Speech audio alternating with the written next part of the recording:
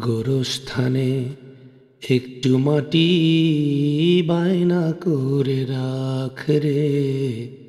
গোরস্থানে একটু মাটি বায়না করে রাখ। আতর গোলাপ, সুরমা, চন্দন, কাফন নামের দেহ বন্ধন।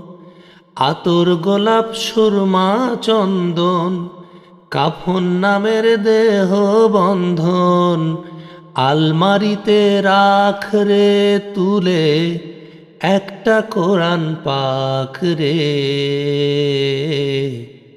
এক্ষুনি তোর আসতে পারে, চলে যাওয়ার ডাক রে।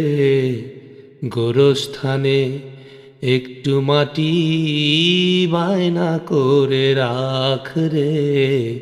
গোরস্থানে একটু মাটি বাইনা করে রাখ